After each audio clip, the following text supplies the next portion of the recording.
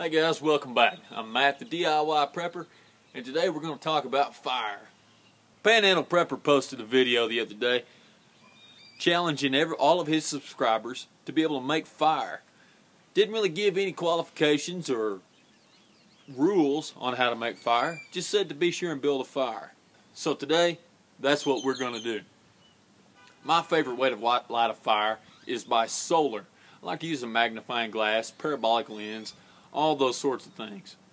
We're going to go gather some materials to use and go through some of those materials and cut through some of this confusing crap that exists on the internet about the perfect materials to light a fire.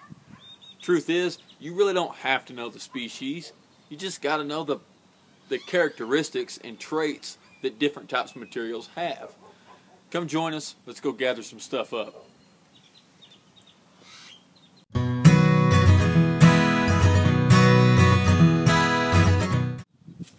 Okay, so what I've got here, I'll spare you the time of running around searching for it, is I've got some tumbleweeds. This was a pretty big tumbleweed. I just knocked off all the little branches of it because what I need is this main stem. With this tumbleweed, I don't care what it is. What I care about is how it's made. That center there, I want it to be nice and pithy. Strip this off. This will work for a hand drill as well,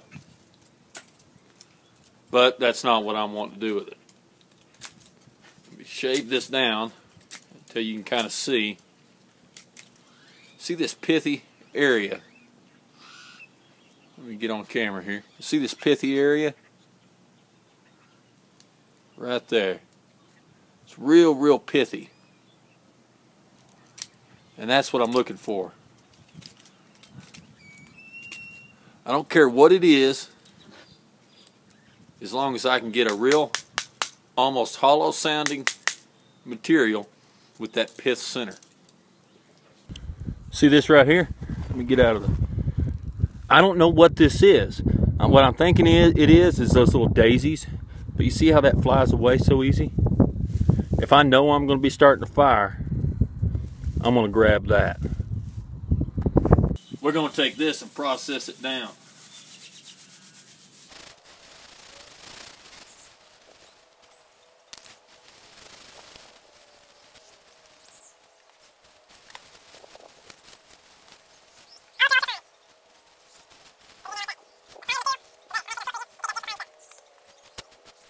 Okay, what we're going to do, in my billfold, I keep a Fresnel lens. Once again, my favorite way of starting fire, 100% renewable. This Fresnel lens will never run out. There may be clouds for a little bit, but I need a 15 second break in the clouds to be able to make a fire. We're going to take this pithy end and create an ember on that. And what this will do it'll give us a punk. It'll give us a punk that's this long. This may give us 30 minutes of an ember. 30 minutes. That's going to give us plenty of time to get our fire lit.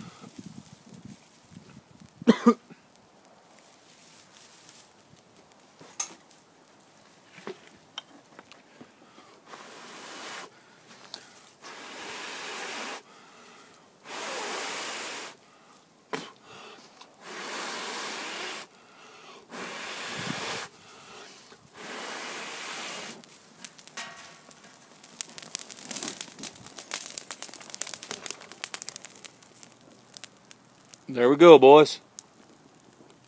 Magnifying glass, fire. I appreciate you guys stopping by. That's my completed fire challenge.